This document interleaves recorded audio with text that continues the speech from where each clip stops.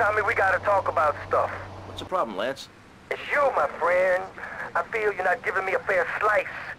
And more than that, you've been embarrassing me in front of the boys. I can't have that. Lance, it ain't like that. You've been making mistakes. Tommy, I'm not your message boy. I'm not your running boy. Lance, don't screw up and we won't have any problems. I screw up, you can lay into me anytime. Tommy, I done everything for you. You treat me like a fool. Don't do that. Lance, I won't rip you off or stab you in the back, okay? Just take it easy. This is tough enough without you getting all emotional on me. Trust me. Do you hear me? Do you hear me?